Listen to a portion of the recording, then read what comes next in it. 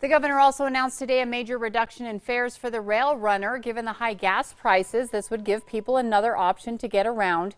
The rates will be reduced by 75% through the end of July. The rail runner reports ridership is at about 60% of pre-pandemic levels.